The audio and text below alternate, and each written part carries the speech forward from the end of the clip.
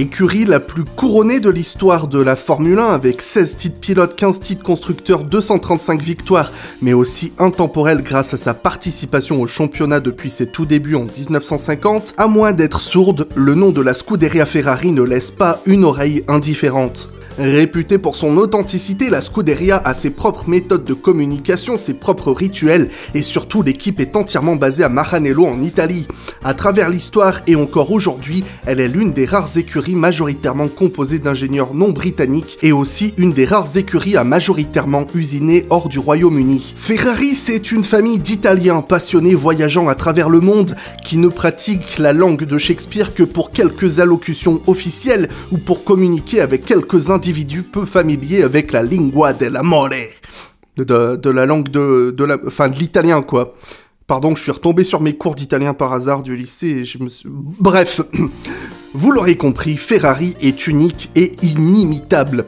Demandez à n'importe quel pilote s'il aimerait piloter un jour en rouge, bon sauf celui-là, et il vous répondra que, évidemment, Ferrari c'est Ferrari. Qui ne voudrait pas rouler pour Ferrari Cette histoire, ce succès, cette aura triomphante, tout le monde veut rouler pour Ferrari avec exactement cette voix-là. Pourtant, à la vue du palmarès de l'écurie de ces dernières années, on peut se demander si elle est toujours à la hauteur de sa réputation. Cinq différents directeurs sportifs au cours des deux dernières décennies, guerre médiatique entre dirigeants d'équipe, pilotes de calibre mis à la porte ou partis à cause du manque de résultats, Ferrari n'a toujours pas retrouvé le succès dont le dernier titre pilote remonte à 2007 et le titre constructeur à 2008. Néanmoins, l'écurie n'a pas été reléguée à une place ridicule dans la hiérarchie et a toujours maintenu un niveau sérieux avec six deuxièmes place au championnat en 10 ans, comme si l'écurie remontait constamment la pente et trébuchait juste avant d'atteindre le sommet. Actuellement en restructuration forcée suite à la tragique disparition de Sergio Marchionne en juillet 2018, Ferrari a récemment licencié Maurizio Arrivabene, le directeur sportif de Ferrari depuis 2014, qui était devenu un petit peu trop bruyant dans les médias quant aux décisions de la hiérarchie ces derniers mois et a promu Mattia Binotto, le directeur technique de la Scuderia depuis 2015 et qui a contribué à créer une voiture capable de se battre à nouveau pour le titre en 2017 et 2018. Après cette introduction beaucoup trop longue pour une vidéo que je voudrais beaucoup plus courte, ma voix énervante et moi-même vous invitons à remonter le temps et revivre les années de succès et d'échecs de la Scuderia depuis ses tout débuts. Dans la première dizaine d'années du championnat, Ferrari affirme sa réputation en gagnant de nombreuses courses et deux titres constructeurs ainsi que six titres pilotes. Au fil des années, cependant, la Formule 1 devient de plus en plus réglementée du point de vue technique. Ferrari souffre en conséquence beaucoup dans la deuxième moitié des années 60 et au début des années 70. Pour Enzo Ferrari, le plus important dans une voiture, c'était le moteur. Et si encore aujourd'hui on s'accorde tous à dire qu'un moteur est une partie essentielle dans une voiture, sans quoi la voiture ne roulerait pas, l'aérodynamique et le châssis prennent également une part de plus en plus importante au fil des années. Des années difficiles pour Ferrari qui comprend au début des années 70 qu'il faut changer beaucoup de choses. La première étape est d'embaucher un directeur sportif à la tête de la Scuderia qui sera un certain Luca Di Montezemolo. Et en 74, ils prennent le pari risqué d'embaucher un illustre inconnu n'ayant jamais particulièrement brillé jusqu'alors, Niki Lauda. Il s'avère que le pilote autrichien a une rigueur technique exemplaire et aide grandement les ingénieurs à développer la voiture pour dominer une grande partie de la fin des années 70.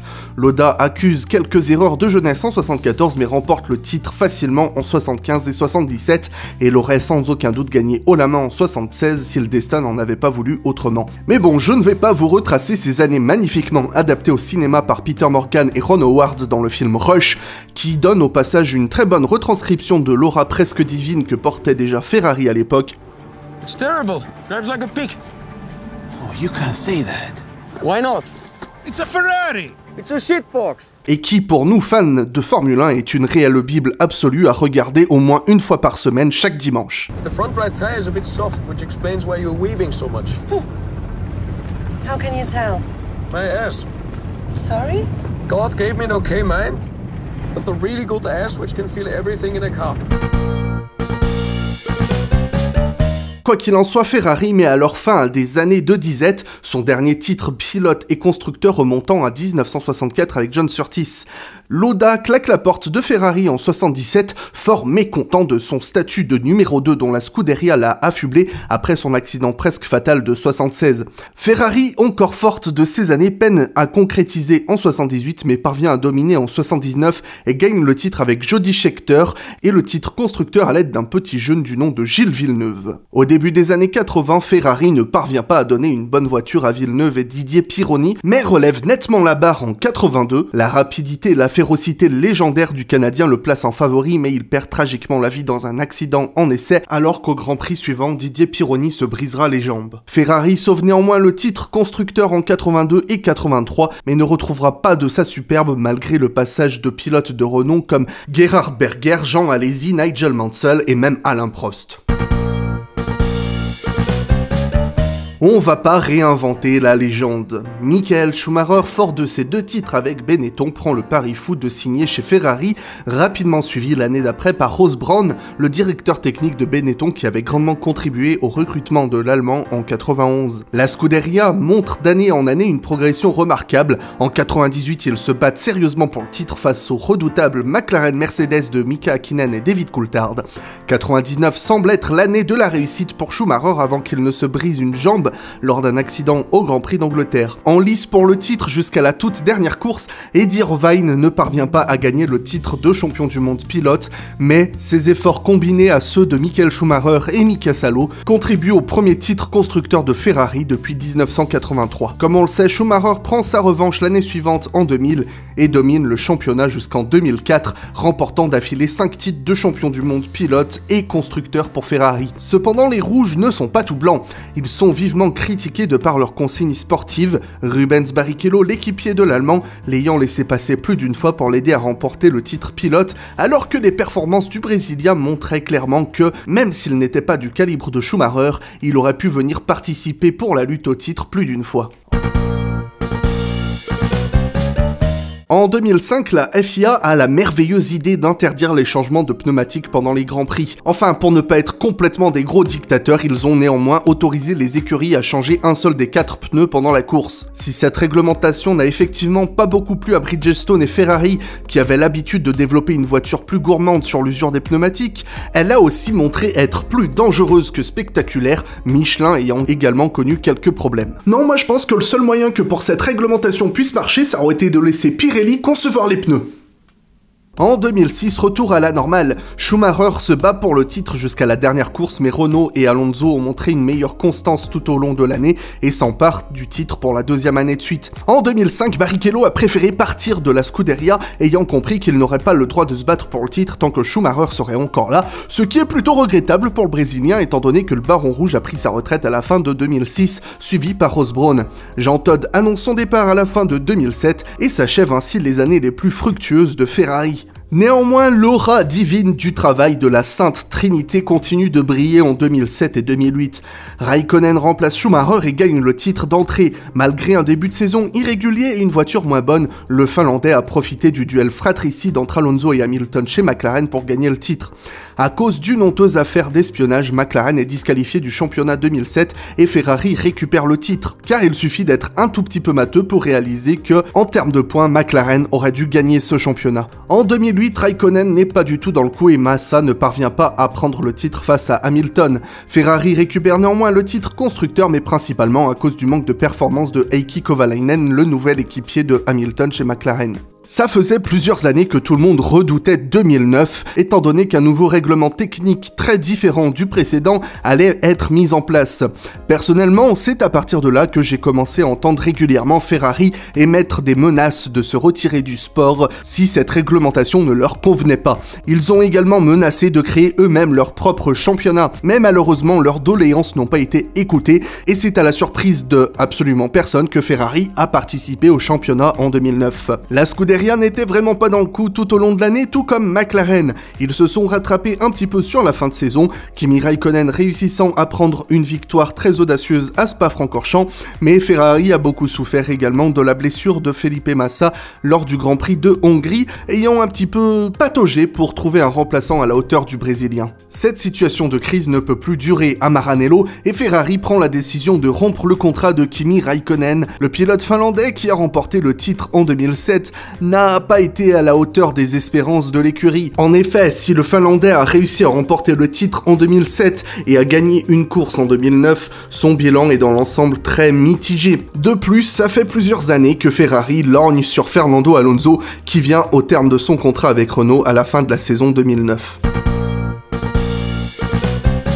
La décennie 2010 commence de la meilleure des manières possibles pour Ferrari avec un doublé à Bahreïn. Mais tout au long de la saison, les performances chutent très rapidement. À la mi-saison, Ferrari redresse la barre et se rappelle particulièrement au souvenir de tout le monde avec la fameuse consigne d'équipe qui demande à Felipe Massa de laisser passer Alonso pour la victoire, qui semble plus enclin à se battre pour le titre pilote. Mais l'Espagnol échoue du titre à quelques points de Vettel en fin de saison. Ce regain de forme en 2010, qui était vu comme un signe d'espoir pour Ferrari ne sera en réalité qu'un mirage car les années suivantes seront catastrophiques.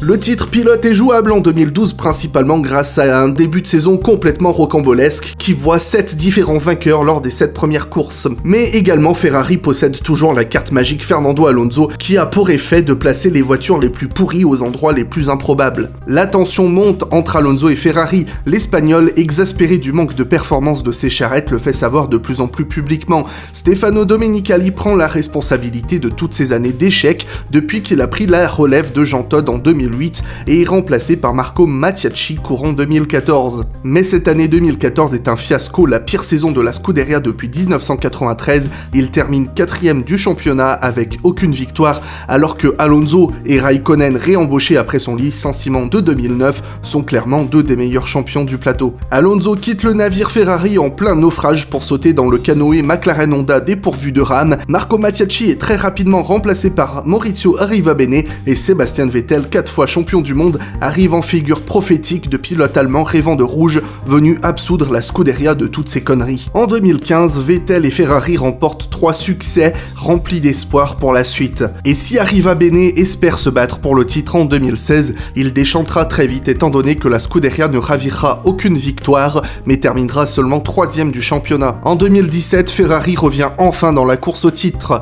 La Scuderia est un challenger sérieux au Mercedes et remporte plusieurs succès. Cependant, le manque de fiabilité de la Ferrari sur les dernières courses et aussi quelques petits épisodes de malchance auront raison de leurs espoirs. Et vous pourriez dire que je vous insulte si je vous rappelais qu'en 2018, Ferrari était clairement la force à battre de cette année, sinon aussi forte que Mercedes, elle avait toutes ses chances et on pouvait espérer voir un duel jusqu'à la fin. Oui, bon bah du coup vous pouvez dire que je vous insulte puisque je viens de vous résumer l'année 2018, mais je vais quand même revenir sur 2-3 petits points de détail. Le premier détail, c'est un certain Finlandais revenu à Maranello depuis 2014. Kimi Raikkonen était attendu comme un grand espoir par la Scuderia, mais le Finlandais n'a jamais été à la hauteur des ambitions de celle-ci. S'il aura pu prétendre être occasionnellement un prétendant à la victoire ou à la pole position, et s'il est vrai que quelques consignes d'équipe n'ont pas joué en sa faveur, le fait qu'on en attendait beaucoup plus de lui. Renouvelé chaque année pour un contrat d'un an dans l'attente qu'un nouvel espoir arrive, ce nouvel espoir est arrivé en 2018 en la personne de Charles Leclerc. À peine avait-il pris part à une dizaine de départs en Formule 1 que déjà les grandes instances de Ferrari voulaient le placer dans un baquet pour 2019. Mais cependant, deux éléments inconnus sont entrés dans l'équation. Le premier est toujours celui de notre Finlandais préféré. En effet, en 2018, Raikkonen a connu un regain de forme attendait depuis des années. Il lui manquait peut-être toujours ce petit dixième pour aller chercher Vettel, mais dans l'ensemble, sa saison 2018 était plus que convaincante. Comme si le fait d'avoir ouvert un compte Instagram sur lequel il balançait toutes les conneries qui lui passaient par la tête